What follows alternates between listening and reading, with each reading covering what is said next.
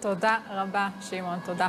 אנחנו עם המשדר המרכזי, הנה הכותרות.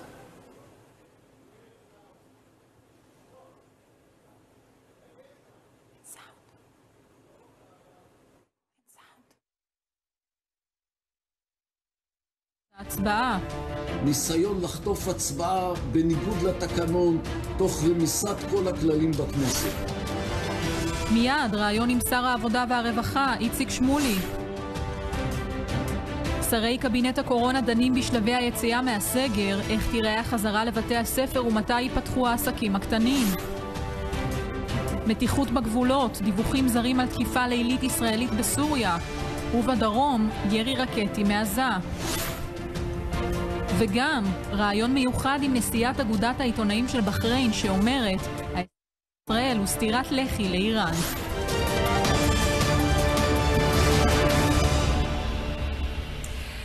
שלום וערב טוב לכם. שוב דיונים סוערים היום בקבינט הקורונה באשר להסרת חלק מהמגבלות, אלא שאחרי שעות של דיונים לא התקבלה כל החלטה בנוגע לשלב ההקלות הבא.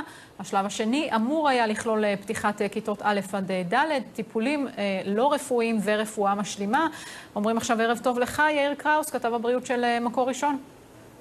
ערב טוב, ליטל. כן, אז למעשה קבינט הקורונה דחה את ההחלטה על הקלות אה, נוספות לשבוע הבא. כן, האמת וטוב שכך. נדמה לי שאנחנו חוזרים אה, לאותם דיווח אה, מחודש מאי האחרון, יוני, כאשר דנו, קבינט הקורונה דן בדרכים לצאת מהסגר הראשון, אחרי סוף הגל הראשון. אנחנו מגיעים לגל השני, ונדמה ששרי הממשלה לא למדו דבר.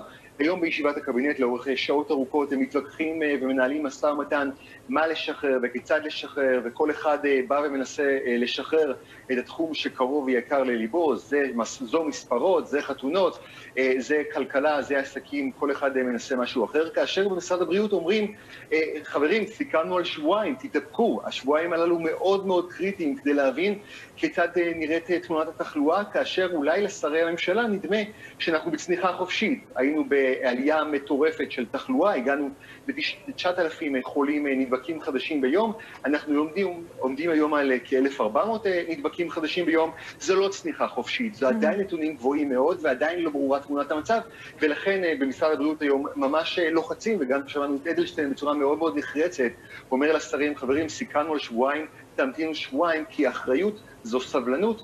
אה, כן, הם גם לא באיזשהו מקום, אה, יאיר, הם גם באיזשהו מקום מבינים שילדים אה, מאוד מדבקים וגם אסימפטומטיים, אז אי אפשר לדעת גם כשהם חולים. כן, זה דוח מאוד מאוד מעניין שבמשרד הבריאות מפרסמים ומעבירים לשרי הקבינט הקורונה, כאשר גם בדיקות סרולוגיות שנעשו בקרב ילדים וגם ניתוח התחלואה בילדים מעלה שעד 70% מהילדים שנדבקו היו אסימפטומטיים.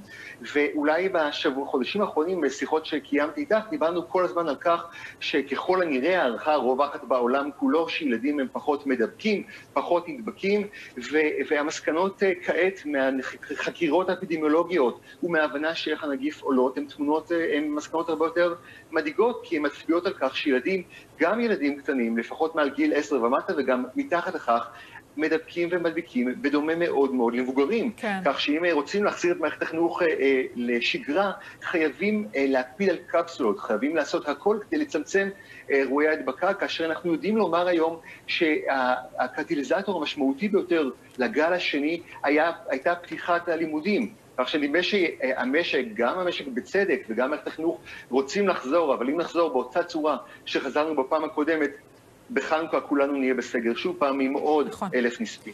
נכון מאוד, כשהיום אה, שר האוצר אה, ישראל אה, כץ מציע לחדש את המסחר לפני החזרה ללימודים של כיתות א', א' וד'. כן, והטענות שלו הן לכאורה הגיוניות, הטענות שאנחנו שומעים אה, גם מאנשי הכלכלה וגם משרים.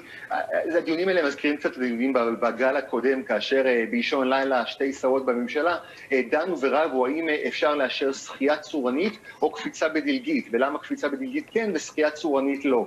כמובן שאני משתמש בלשם דוגמה. בסופו של דבר בציבור בישראל קשה מאוד להבחין. ברגע שאתה מאשר צחייה צורנית, אז הקפיצה בדלגית גם רוצים להשתחרר ולא מבינים למה. ולכן במשרד הבריאות מנסים מאוד מאוד ולהסביר, חברים, ברגע שנפתח את השיבר, ברגע שנאשר לטק אווי בחנויות לבשמים, אז הדורדורנטים גם ירצו להיפתח, זאת אומרת, ולכן חייבים להישמר על אחידות, כי, כי ברגע שננהל את המשא ומתן כמו בסחר של סוסים, אה, נפתח משהו אחד, יהיה פה שטף של דברים שירצו להיפתח. אנחנו שומעים על רצונות אה, של צימרים, בתי מלון, מרכזי הערכה ועוד ועוד, כך שהמדיניות כרגע, לפחות שבמערכת הבריאות מנסים להוביל, היא תמתינו סבלנות, בואו נחכה את השבועיים הללו, כן. ורק אחר כך נוכל לקבל החלטות. יאיר קראוס, תודה רבה לך. תודה. דרמה היום אה, במליאת הכנסת, הצעת החוק של אה, יש עתיד, תל"ם ומרץ להקמת ועדת חקירה פרלמנטרית שתבדוק את פרשת הצוללות, אושרה היום ברוב של 25 חברי כנסת שהצביעו בעד, מול 23 נגד, אבל מיד לאחר מכן היא בוטלה והוכרזה הצבעה שמית. הלל ביטון אה, רוזן, שלום ערב טוב, בוא ננסה להסביר לנו מה, מה היה שם היום. כן, אז ערב טוב ליטל, באמת מה שהיה, אני מכנה אותה פארסה טכנית לפחות בכל מה שקשור לקואליציה. והדבר הזה יכול להתפתח אף להיות אה, דרמטי יותר מכפי שאנחנו חושבים. אז אה, באמת, אה, כפי שאמרת, הייתה היום הצבעה האם באמת יקימו ועדת בדיקה, ועדת חקירה בסוגיית הצוללות, שם האופוזיציה נוטה בעצם לקשור את ראש הממשלה בנושא הזה, למרות שהוא כמובן לא קשור, לפחות מבחינת המשטרה והפרקליטות, שאפילו לא חקרו אותו בנושא הזה, ולמעשה מעבירה הצבעה.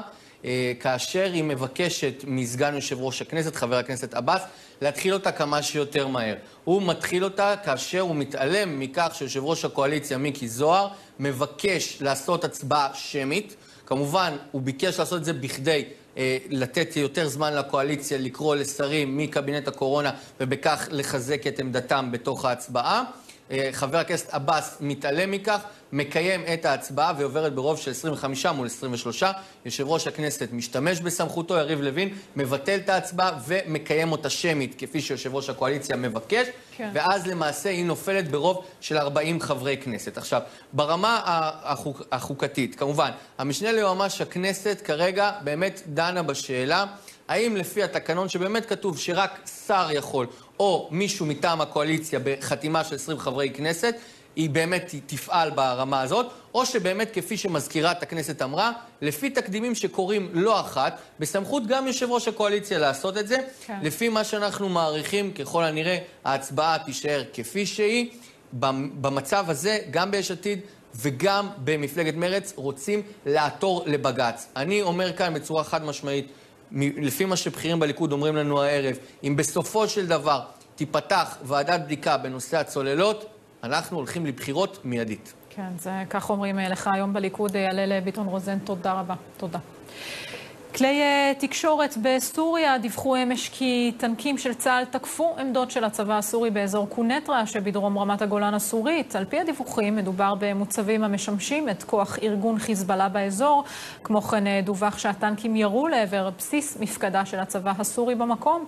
קובי פינקלר, פרשננו הצבאי, שלום ערב טוב. שלום, ערב טוב אה, גם לך, אה, ליטל. כן, אז אה, שר הביטחון בני גנץ כן. כבר מתייחס היום לידיעות, וכמובן לא מאשר שישראל עומדת מאחורי התקיפה הזו. נכון, אפשר לקרוא ללילה הזה למעשה לילה של תקיפות משולשות. לפחות שתיים מהם אנחנו יודעים להצביע עליהם בצורה ודאית, תדבר עליהם בהמשך, אבל על התקיפה הזאת בסוריה, שר הביטחון אומר דברים קורים.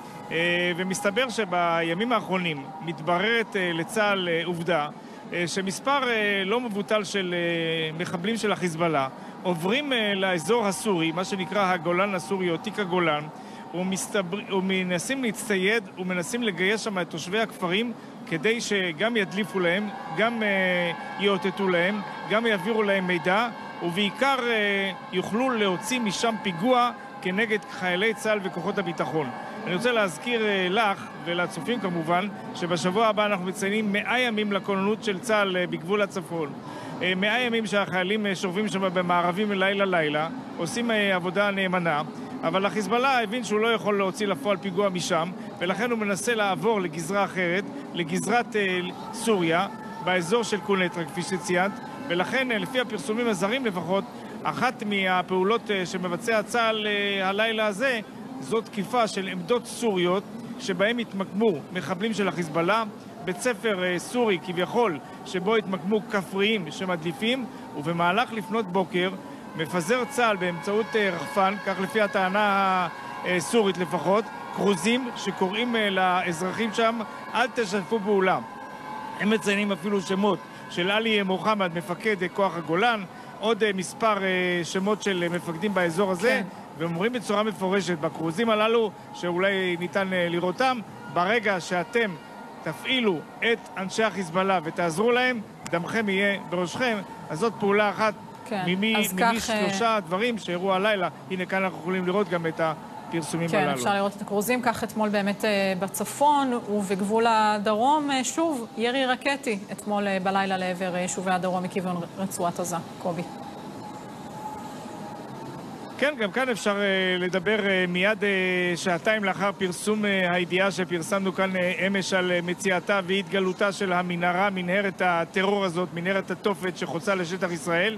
ממהרים מחבלים מרצועת עזה לשגר רקטה אחת לעבר אזור צפון רצועת עזה, באזור נחל עוז, סעד, כל המרחב הזה. לא היו נפגעים, מערכת כיפת ברזל יירתה את הרקטה הזו, אבל אפשר לראות עד כמה הדברים קשורים זה בזה. ישראל מצד אחד ממשיכה גם בשעה האחרונה ובמהלך כל היום לחפור לעומק, וזה מראה כמה המנהרה הזאת הייתה עמוקה, כמה היא הייתה איכותית, כמה היא הייתה מקצועית ומובנית מבחינת החמאס באזור הזה, שרצה בכל כוחו להוציא לפועל פיגוע, ומה שאני למד היום מהקצינים הבכירים בשטח, שהם לא התכוונו לבצע את הפיגוע הזה דווקא מחר או מחרתיים, לכן גם הרגיעה שהייתה בתושבי, בין, אצל תושבי הדרום, אלא זאת הייתה מנהרה שתוכננה לימי לחימה. אם בקרבות הקרבי, הבאים היה אמור להיות איזשהו סבב לחימה, החיזבאללה היו אמורים להוציא, החמאס כמובן, היה אמור להוציא מהמנהרה הזאת אה, פיגוע. אה, ברוך השם זה נמנע, אבל זה בהחלט צריך ללמד עד כמה החמאס, גם תחת כל המכשול הזה, מצליח אה, לבנות, לייצר לעצמו אה, עוד אמצעי לחימה כנגד מדינת ישראל. כן, וכמה החמאס באמת לא נח לרגע. עניין נוסף איתך, קובי, לסיום, שר הביטחון בני גנץ ימריא הלילה לוושינגטון לפגישה עם שר ההגנה האמריקני. נכון, לא רק שהוא ימריא הלילה, הוא גם אמור לשוב ביום שישי לפנות בוקר. כלומר, זו פעם שנייה, בתוך פרק זמן של שלושה שבועות, ששר הביטחון ממריא לארצות הברית לפגישות מהירות ולשוב uh, במהרה ארצה. הסיבה, בישראל uh, מתחילים להבין שיכול להיות שגם uh, נשיא ארצות הברית טראמפ לא ימשיך בקדנציה נוספת, ולכן רוצים לקבל את ההבטחות על כל הבקשות שגנץ ביקש לפני כשלושה שבועות, ביניהם גם חימושים מדויקים שמדינת ישראל מאוד זקוקה להם, גם אמצעי לחימה נוספים כן. וגם את המטוס V-22 שכל כך ישראל חפצה בו, שכן לאף מדינה בעולם אין אותו, ולכן הבהילות של הנסיעה הזאת אה, של גנץ אה, לארצות הברית והנושא של איראן הוא מאוד מאוד מאוד אה, ליטל הערב הזה על הפרק. ברור. כמה שאנחנו חושבים בשקט, ברגע שהמשטר של טראמפ, אם הוא יפסיד לא יהיה בשלטון, מאוד חוששים בישראל להתגברות הטרור מצד איראן, ולכן חשיבות הביקור של גנץ כן. במשך 24 שעות גם בארצות הברית. כן, ישראל חייבת להיערך אה, ליום שאחרי הבחירות שם. אה, קובי פינקלר, תודה רבה. תודה. תודה. אנחנו רוצים אה, לחזור עכשיו לעניינים הפוליטיים ולסערה היום במליאת הכנסת, ואומרים שלום לשר העבודה והרווחה, איציק שמולי. ערב טוב, ליטל. כן, אז בואו נתחיל עם הסערה המוקדם יותר במליאת הכנסת. איך אתה רואה את הדברים? כן, לא הייתי במליאה ברגע של המהומה, אבל uh, באופן כללי פרשת הצוללות היא פרשה uh, חמורה שצריכה להיבדק. Uh, בסופו של דבר גם שר הביטחון אמר שהוא בוחן את האפשרות לעשות זאת דרך משרד הביטחון. לגבי מה שהיה במליאה, אני מניח שזה יגיע לבית המשפט, שיצטרך לקבוע אה, בעצם אה, מה היה ומה אנחנו עושים עם ההצבעה, כי יש כל מיני גרסאות שהן אה, סותרות. כן, שבסופו של דבר גם... אם כמובן היה ניסיון לגנוב ולחטוף הצבעה, זה דבר חמור. כן, שבסופו של דבר גם סגן יושב ראש הכנסת, אוסאמה סעדי, מודה שהייתה צריכה להתקיים הצבעה נוספת. אולי שוב כולם פשוט מדברים מפוזיציה? אני לא יודע, בגלל זה אני לא ממהר לקבוע דברים במסמרות לגבי מה שהיה, בטח כשלא הייתי במליאה.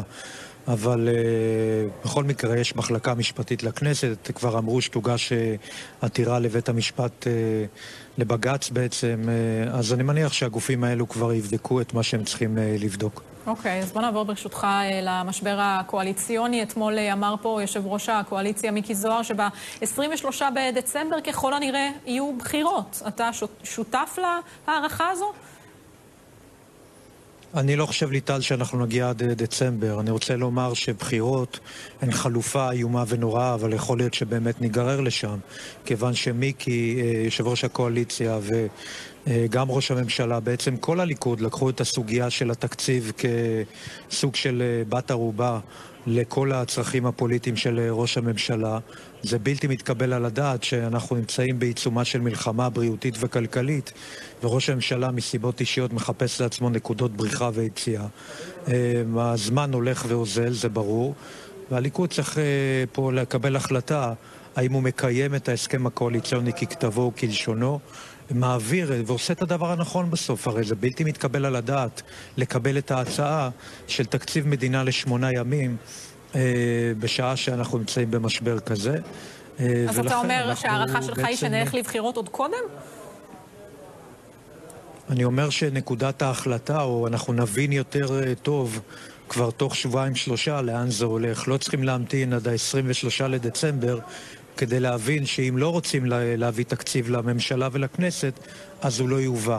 בכל שנה התקציב של השנה הבאה, כפי שאתם בוודאי יודעים, מאושר בערך בספטמבר, אוקטובר, השנה אנחנו כבר לא נעמוד בתאריך הזה, אבל לבוא ולומר שהתקציב היחידי שכרגע מוכנים לדון בו זה תקציב לשמונה ימים ב-2020 שאוטוטו נגמרת, כן. הרי ברור גם לבעל חנות המכולת הכי קטנה שמקשיב לנו עכשיו, שזו הצעה לא רצינית, זה לא קורה בעסק שלו, זה בוודאי לא יכול לקרות במונחים של מדינה. כשאם באמת אה, הזכרנו אה, בחירות, אה, רון חולדאי, ראש עיריית תל אביב, הודיע שבבחירות הבאות הוא מתכוון להתמודד. יש מקום לעוד מפלגה בגוש השמאל?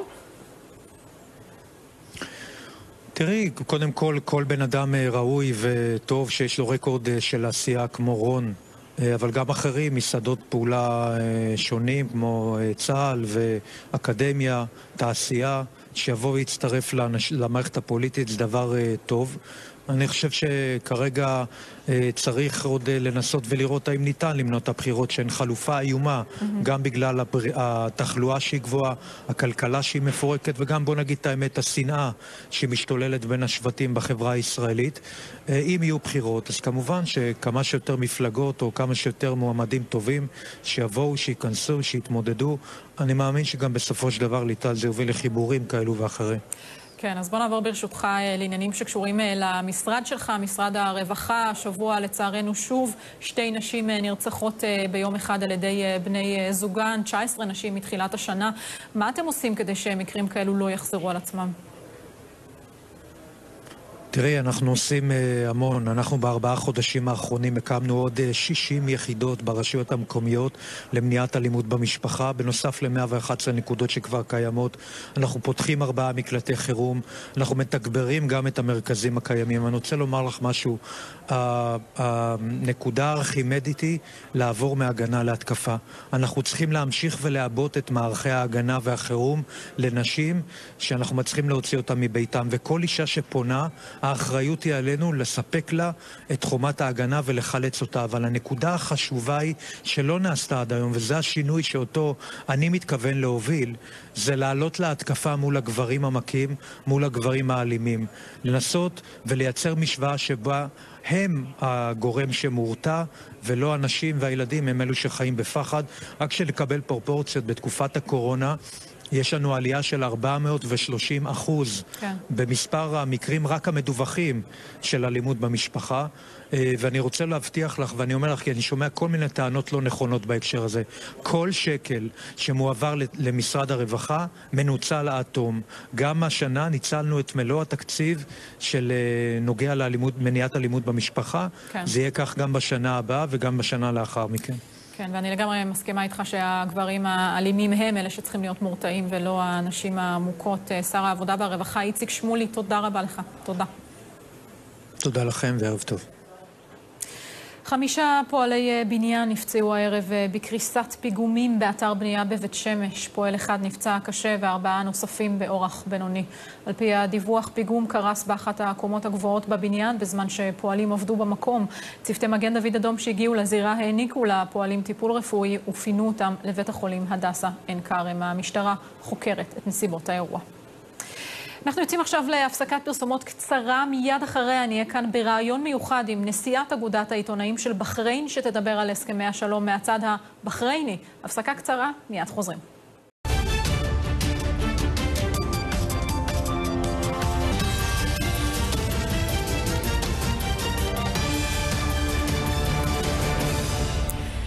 בחריין וישראל חתמו השבוע על הסכם הביניים לכינון יחסים דיפלומטיים בין המדינות, עם הסכמה על פתיחת שגרירויות.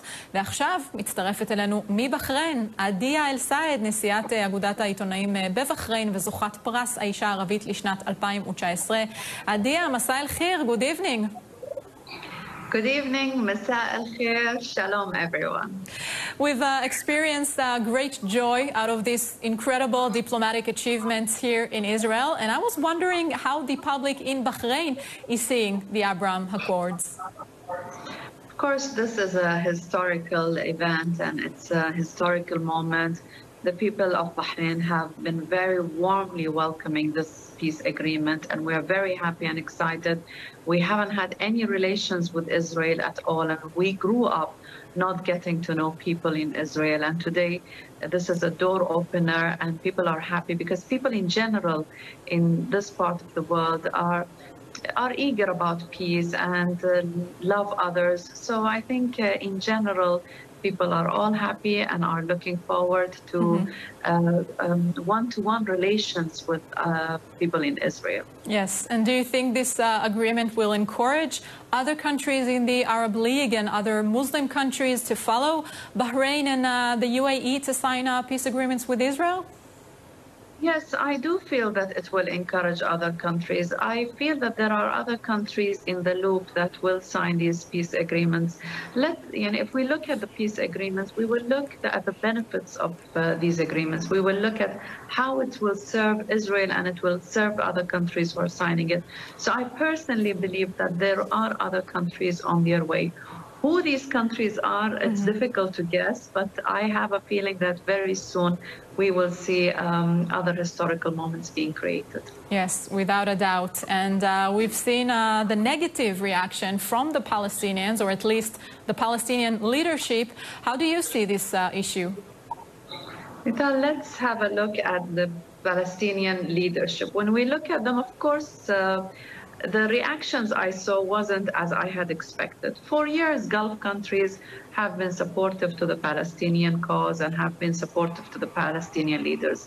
Uh, Gulf countries have the right to take things in their own hands now to sit on a table and negotiate with Israel uh, issues. Gulf countries have been supporting this cause. So why not have a bigger role to play? Why not directly interact and communicate with Israel? So the reactions from the Palestinian leadership has been very disappointing and very sad.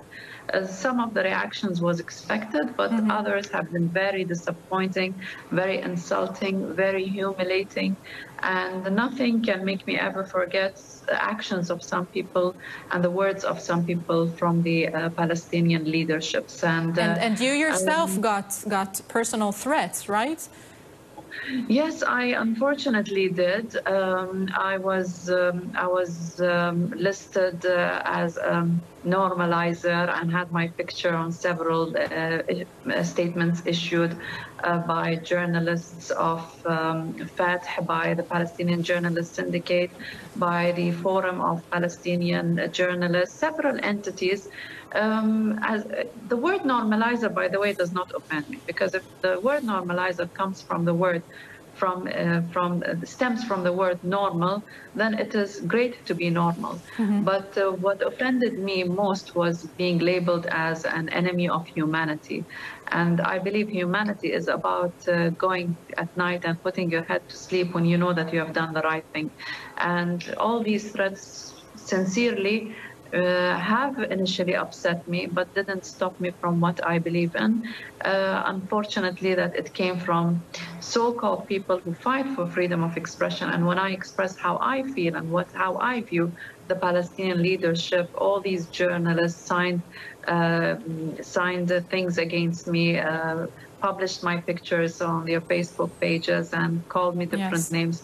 So it's it's it's a shame. It's disappointing, but you get to know things as you experience have different experiences yes. in life and uh, I, I see what's and, going and, on. and you're saying such uh, strong and, and powerful uh, words and it's also important to say that uh, these agreements are signed on the day that the uh, the arms embargo on Iran is expiring. So Israel and Bahrain have basically the same enemy that they need to join forces against it's a very long, uh, it's an enemy that has been there for 41 years, not just to Bahrain, to other Gulf states.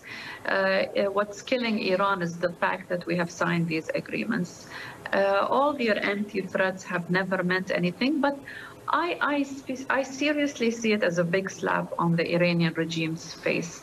Uh, this terrorist regime has never been or has never attempted to be a good neighbor. It has funded Hezbollah, Hezbollah has been launching rockets on Israel. Hezbollah is a terrorist entity. Uh, the Iranians now embraced Hamas. So they have never had any good intentions towards the region. And I see that uh, forming new alliances and making new friends in the region is something that this region required. Mm-hmm. So if we want peace with each other, and the byproduct of this peace is to stand together, Bahrain and Israel, to stand with the United Arab Emirates, to stand in the face of Iran, I see this as a very, very positive step. Uh, yes. This regime must end. This regime has been torturing the Iranian people uh, for 41 years. Let's not forget that 80% of those people were born after their so-called Islamic revolution. Mm-hmm. And I say so-called because what they do has nothing to do with Islam. So I hope that our peace agreement um, draws a line uh, between um, the yes. empty threats that they make to Israel and to Bahrain. Yes, and maybe last uh, one last question. We have to, to put in a, a good word for the uh, American administration that has been instrumental in uh, advancing these new relations and creating these new bonds between the countries. Recent emails of uh, former Secretary of State Hillary Clinton reveal a close connection with the Ayatollahs in Iran. Is there concern in Bahrain of uh, Biden victory in the coming elections? Uh, yes, uh, on, um, I, I'm personally concerned because if we look at the history of the Democrats with the region, the history has been bad. I personally interviewed um, Hillary Clinton in the year 2010, uh, just a couple of months before the crisis started in Bahrain. Mm-hmm. And um, uh, Clinton was hoping for a new Middle East, and she was speaking about the new Middle East. No one at that time knew that the Middle East that she was uh, and the Democrats were planning was to overthrow and topple our regimes yes. in the Gulf.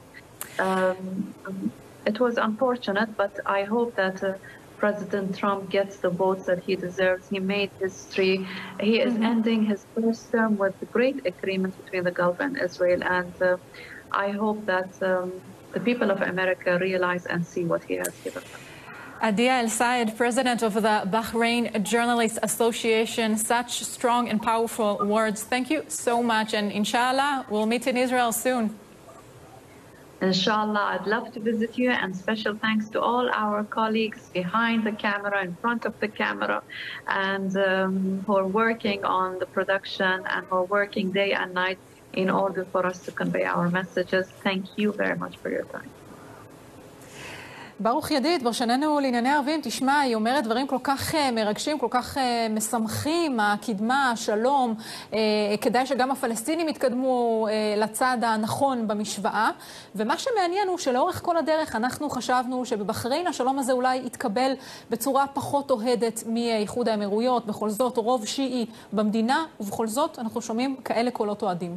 המטרה של הרעיון הנדיר והמיוחד הזה היא לחשוף את הלכי הרוח החדשים בטח בקרב שכבות צעירות, אה, לאו דווקא באליטות של בחריין, ועדי היא אחת הנציגות הנאמנות של, ה, אה, של הקבוצה החברתית החדשה הזו.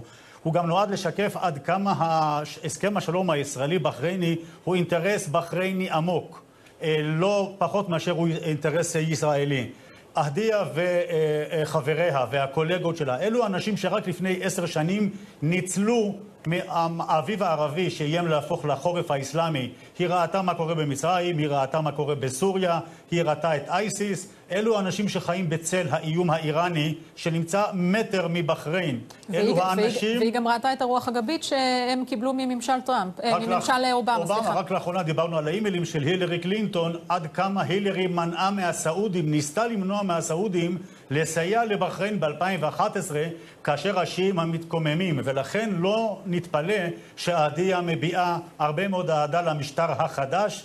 אה, אלו אנשים שגם חיים בצל קדמה, יש הרבה מאוד נשים, גם בתקשורת, גם בממסד הפוליטי, החברתי, אה, הבחרייני, זה קדמה, זה התפכחות, זה הבנה, ובסוף, בסוף, בסוף, אלו האנשים שחיים בצל הרשתות החברתיות. אה, וכאשר הכנו את השיחה עם ההדיה, אז גם היא וגם עמיתיה אמרו, תחת ממשל טראמפ יכולה הייתה סעודיה לפתוח את המטריה שתחתיה מתרחשים כל הדברים הנדירים והמדהימים האלה. כן. אלו הלכי רוח שמי שעוקב מקרוב לא מתפלא. מי שלא עוקב, הנה אנחנו מביאים את הרוח הרעננה הזאת לצופים שלנו בבית. כן, ודברים כל כך כל כך מרגשים. היא אומרת, אנחנו נמצאים בעידן מרגש. ברוך ידיד, תודה רבה לך. בבקשה. תודה. לעניין הבא, כוחות אה, צה"ל אטמו אמש את החדר בו התגורר אה, נדמי אבו בכר, המחבל אה, שהרג את סמל ראשון עמית בן יגאל, זיכרונו לברכה, בפעילות מבצעית בחודש מאי בכפר יעבד. אטימת החדר בוצעה כשבועיים לאחר שבית המשפט העליון ביטל את צו ההריסה שהוצא לבית המחבל, תוך שקבע כי לצה"ל שמורה הסמכות להמיר את צו הריסת הבית בצו לאטימת החדר בו התגורר המחבל. קובי פינקלר, אנחנו חוזרים אליך, אתה עם הפרטים בעניין הזה. כן, אה, שוב אה, שלום אה, לך ליטל. אני חושב שזאת לא פשוט, לא פחות ולא יותר מאשר המילה שערורייה. גם לבני משפחתו של עמית בן יגאל, השם ייקום דמו, שנרצח בדם קר, וגם לכל חיילי צה"ל שפעלו שם. נחזור לשעה שתיים וחצי לפנות בוקר, חיילי צה"ל מגובים בכמה וכמה מערכות מסביב להם ששומרים עליהם, נכנסים לתוך ביתה, ביתו של המחבל בכפר יעבד, מתוך כוונה לאטום אותו. זאת כבר נקודה ראשונה, שכן בית המשפט העליון קבע שלצה"ל ניתנת הסמכות או להרוס או לאטום. זאת אומרת, הייתה יכולה להיות בפירוש כאן פעולה של הריסה. מישהו בשטח החליט, או בדרגים הגבוהים יותר, החליט שצריך רק לאטום ולא להרוס, אבל גם לאטום צריך להבין מה זה נקרא פעולה של אטימה. אז אם uh, לפנות בוקר אנחנו מקבלים הודעה מדובר צה"ל שצה"ל אטם הלילה את uh, חדרו של המחבל הזה, שעתיים לאחר מכן אני מקבל ממקורותיי תמונות של הפלסטינאים מהחדר הזה שבו אפשר לראות את הפלסטינאים נכנסים לתוך החדר, בסך הכל שמו שם קצת קצף, אולי קצת בטון. כן, אפשר עכשיו לראות באמת את התמונות. נכון, והם מיהרו לצאת משם במהירות אה, רבה כדי שלא ייפגעו עוד אה, חיילים אה, נוספים. בסופו של דבר, כאשר אני שואל את דובר צה"ל או נציגיו, איך יכול להיות שפעולה כזאת קורית? האם זאת נקראת אטימה? אז התשובה הראשונה הייתה, זה מה שבג"ץ התיר לנו. וזה לא נכון, כי לא מה שבג"ץ התיר להם. הוא התיר להם לעשות הרבה יותר מאשר כך. אבל יתרה מכך, ברגע שאוטמים, בואו תעשו את זה בצורה מושלמת. יש את יחידת יהלום, יש את יחידות ההנדסה שמסוגלות לאטום בצורה מושלמת חדרים, ראינו את זה גם במקומות אה, נוספים, וכאן זה פשוט לעג לרש וצחוק בעיניים של חיילי צה"ל ומשפחת בן יגאל, אה, זיכרונו לברכה, השם ייקום דמו. אה, כאשר שעתיים לאחר מכן כבר החדר פרוץ, אז בצה"ל גם מסבירים שלמעשה מדובר בחומר שזלג מתוך החדר, אה, זה מדובר בחדר השינה, לא החדר המקורי, אבל כאשר אני מסתכל על התמונות ומדבר עם חיילים שהיו שם, הם מדברים בצורה אחרת לחלוטין. חבל שכך הם פני הדברים. כן, לעג לרש והכל אה, בחסות בג"ץ. תודה רבה לך, קובי.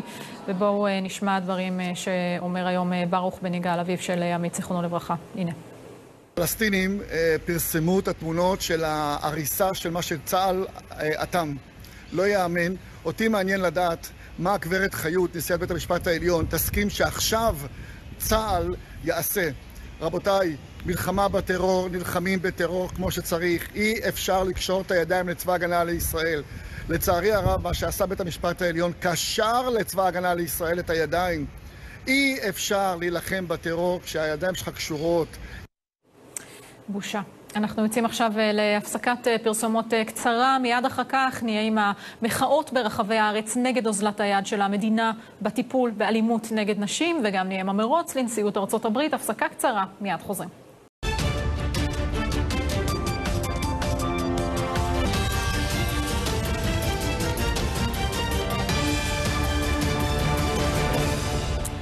חזרנו, הדיווחים על אלימות במשפחה זינקו בחודשים האחרונים, ורק השבוע נרצחו שתי נשים.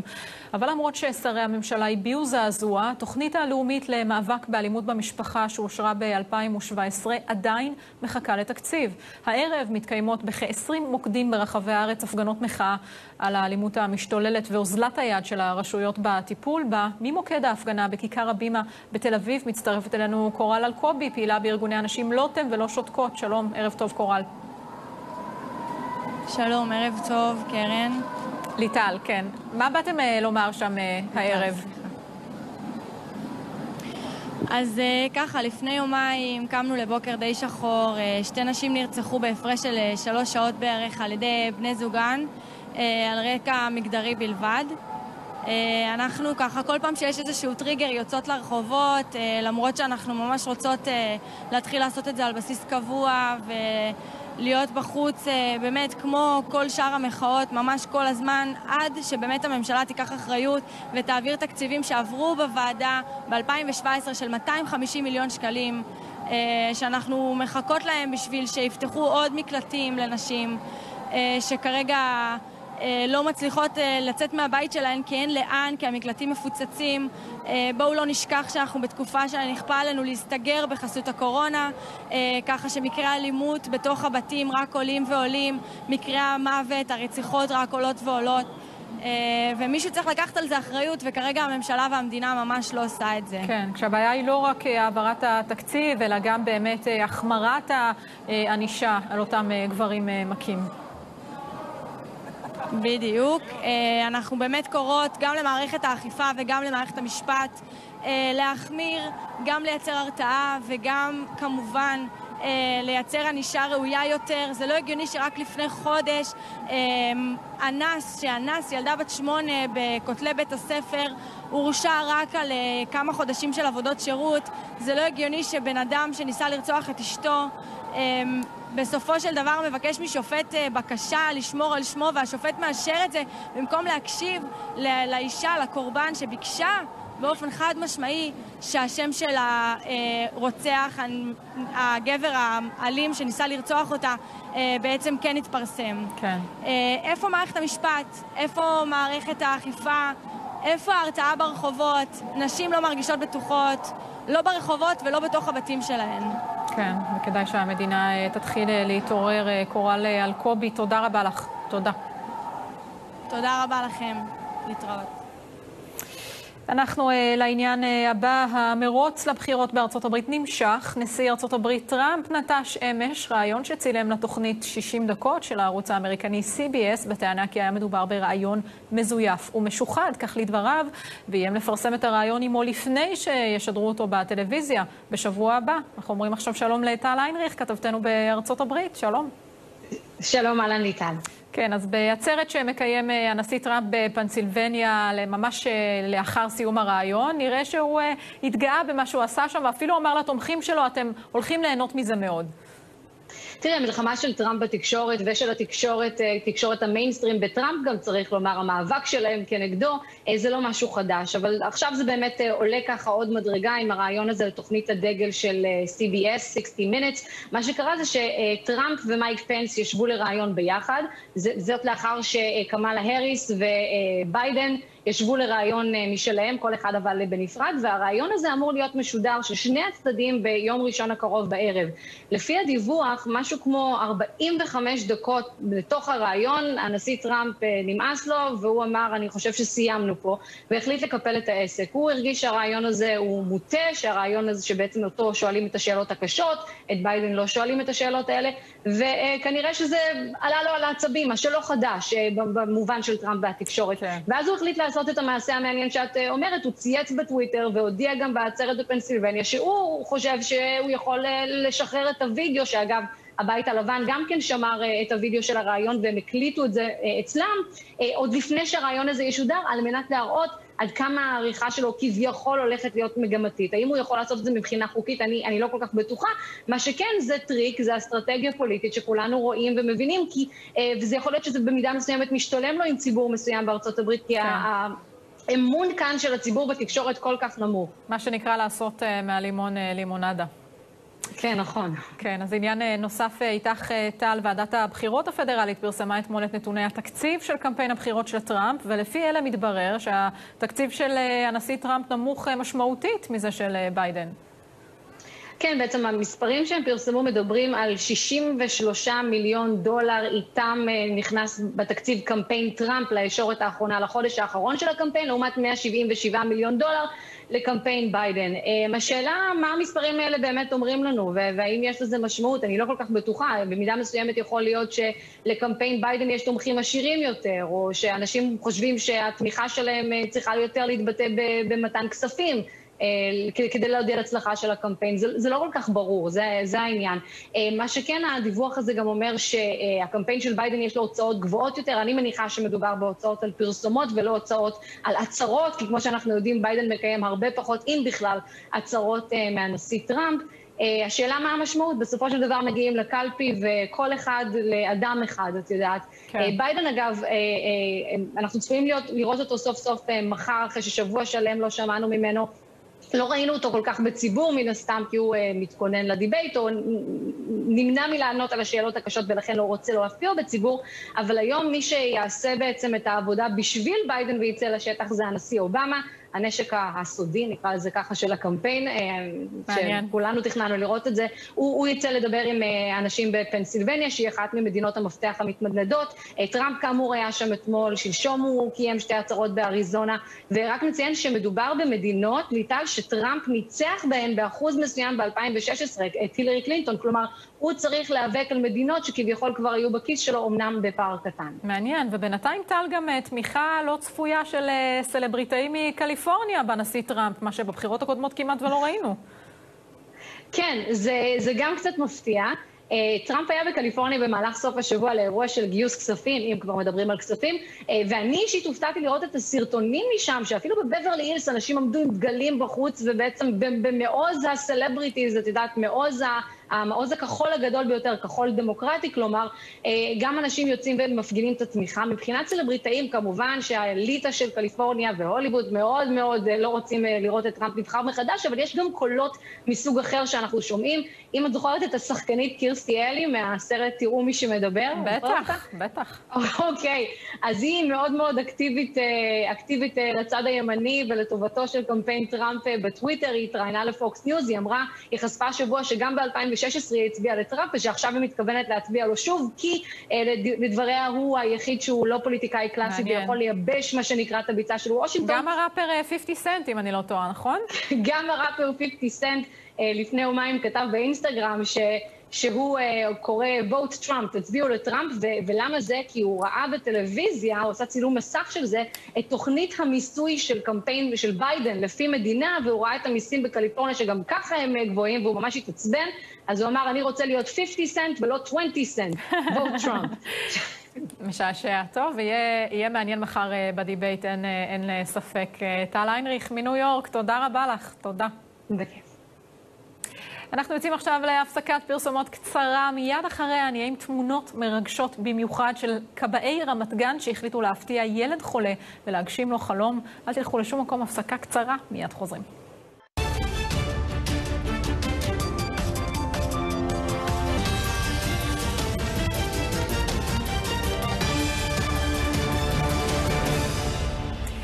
עכשיו למשהו uh, קצת uh, משמח. נציגי uh, תחנת הכבאות ברמת גן החליטו להפתיע את אדם, בן החמש, החולה במחלה קשה, וחלם לפגוש כבאים באופן אישי. בואו נראה. דרך לאלפי מנשה, לבקר את אדם, ילד חולה, ביקש לפגוש כבאים, הוא עובר ניתוח. החלטנו, כל מי שיושב פה ברכב, מפקד התחנה והמחוז, להגשים את החלום הזה, ואנחנו בדרך אליו. שלום, בוקר טוב.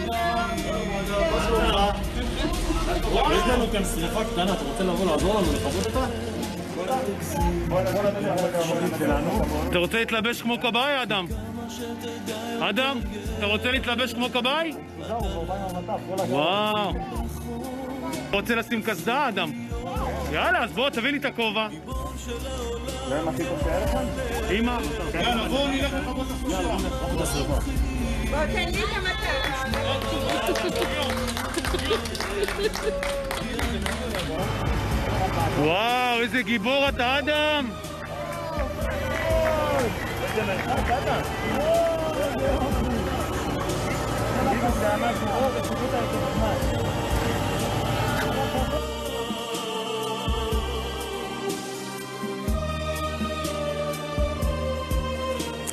רש"ף אה, ניר שלום מתחנת אה, כיבוי רמת גן, שלום ערב טוב.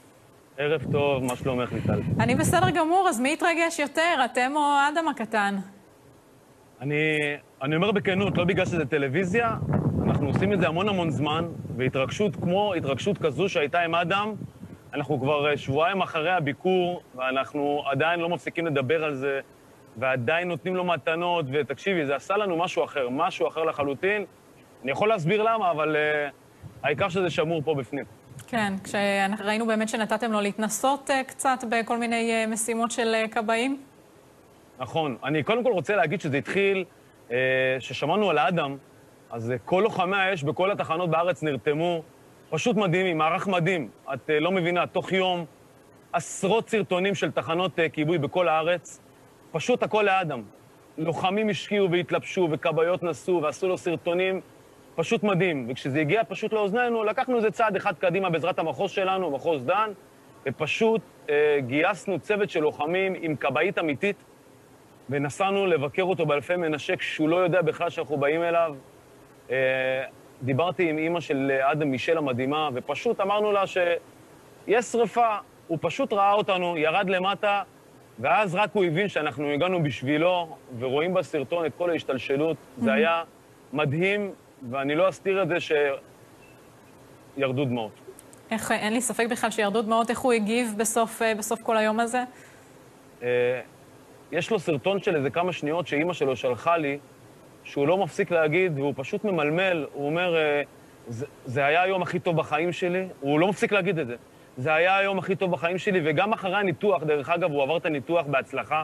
יש לו אמנם עוד סדרת טיפולים בגרמניה שהוא צריך לעבור, אבל הוא לא מפסיק פשוט להגיד, אמא, זה היה היום הכי טוב בחיים שלי, ואין לי ספק שבעזרת השם שהוא יבריא, אנחנו נעשה repeat ענק על הדבר הזה, ואני מאוד מקווה שזה נתן לו כוח אה, לצאת מהמחלה הארורה הזאת שהוא נתון בה, וזה חלק מהתפקיד שלנו להציל חיים, וזה לא פחות חשוב מה שעשינו פה. בוודאי, אין בכלל ספק. נתתם לו להשאיר את המדים הקטנים שהכנתם לו? השארנו לו את המדים, קנינו לו סט, נתנו לו עשרות מתנות. הילד הזה נכנס ללב של כולנו. אני אומר לך, אה, אנחנו לא פעם ולא פעמיים מבקרים בתל השומר. אנחנו נותנים מעצמנו לא מעט בכל מה שקשור לילדים, כי הם פשוט אוהבים אה, את כל התחום של הכבאים. אין ילד שזה פוסח ממנו, אבל הילד הזה, אדם, החמוד הזה, פשוט, פשוט לא עוזב אותנו. לא עוזב אותנו. כן. ואנחנו באמת ילד לו מתוק. מהירה. כן, באמת ילד מתוק מאוד. אה, רש"ף ניר שלום, יישר כוח על המחווה הכל כך חשובה הזו, ותשמרו על עצמכם. תודה רבה. אני מודה לכם, מודה לכם מאוד. תודה רבה לכם. מקסים, באמת מקסים. לפני סיום, אנחנו עם תחזית מזג האוויר. מחר צפוי להיות מעונן חלקית עד בהיר ותחול עלייה בטמפרטורות. בשעות אחר הצהריים ינשבו לאורך מישור החוף רוחות צפוניות ערות. אנחנו סיימנו, תודה רבה לכם שצפיתם. מיד אחרינו הפטריוטים עם ינון מגל, המשך צפייה מהנה ולהתראות.